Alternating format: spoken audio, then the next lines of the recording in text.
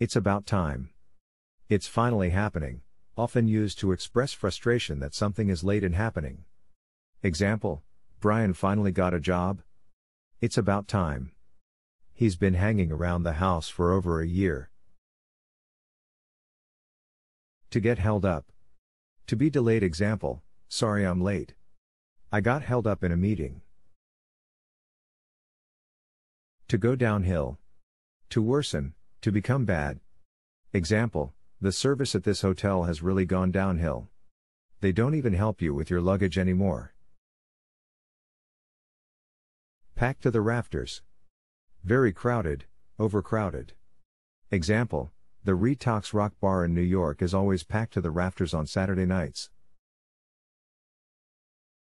To pick up the tab, to pay the bill. Example, you paid last time we went out for lunch. Let me pick up the tab this time. Like hell. No way, say this when you want to refuse strongly or to disagree strongly with what's just been said. Example Jeff says he already paid you back, like hell he did. To break one's date. To cancel a date. Example Sorry to break our date, but I can't make it to the movies tonight.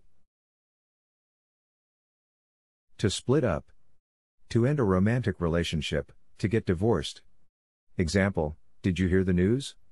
Laura and Tony have split up. Plain Jane. A plain, looking girl or woman, a female who's not very attractive. Example Is Rich's new girlfriend pretty? No, to tell you the truth, she's a plain Jane. It pays to. It's worth it, it's a good idea to. Example Although the restaurant was very crowded, we got seated right away. It pays to be friends with the owner. Don't go there. I don't want to talk about that. Example, why did you lose your job? Don't go there.